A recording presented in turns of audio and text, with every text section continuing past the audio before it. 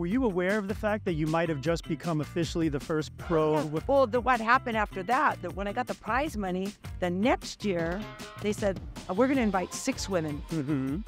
They're going to surf Sunset. There's going to be winner take all. It's going to be the first professional surf contest Right. for women.